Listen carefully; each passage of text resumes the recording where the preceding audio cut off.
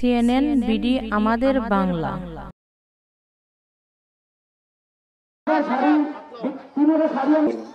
আল্লাহ এনেছে গরিবদেরকে ওনাকে আল্লাহ তুমি হায়াতে রিজিকে বরকত দাও। আমাদেরকে আল্লাহ তুমি নিজে হেফাজত করি আর আমার রাহিম আমাদের জুয়েলের পক্ষ থেকে শাড়ি লুঙ্গি ঈদ উপহার হিসাবে দিচ্ছেন।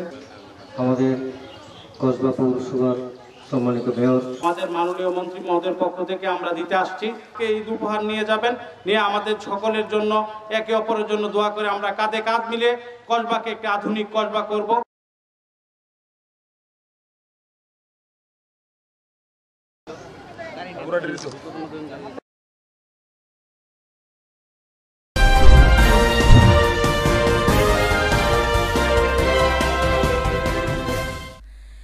সিএনএন বিডি আমাদের বাংলা।